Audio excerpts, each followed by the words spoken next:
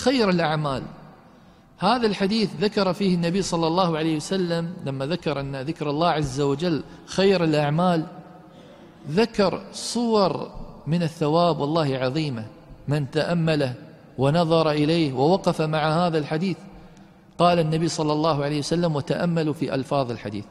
قال النبي صلى الله عليه وسلم ألا أخبركم بخير أعمالكم؟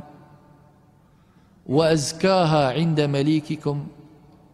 وأرفعها في درجاتكم وخير لكم من إنفاق الذهب والورق يعني الفضة وخير لكم من أن تلقوا عدوكم فتضربوا أعناقهم ويضربوا أعناقكم خمسة فضائل عظيمة.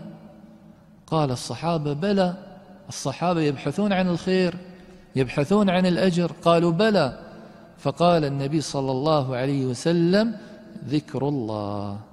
تذكر الله عز وجل لك هذه الفضائل العظيمة التي جمعها النبي صلى الله عليه وسلم في هذا الحديث.